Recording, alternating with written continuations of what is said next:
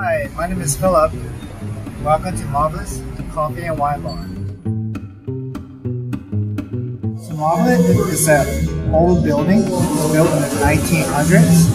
And it's one of those buildings that survived the earthquake. So you see the architecture, the ceilings are original. Uh, we just remodel and try to preserve as much as we can from the 1900s.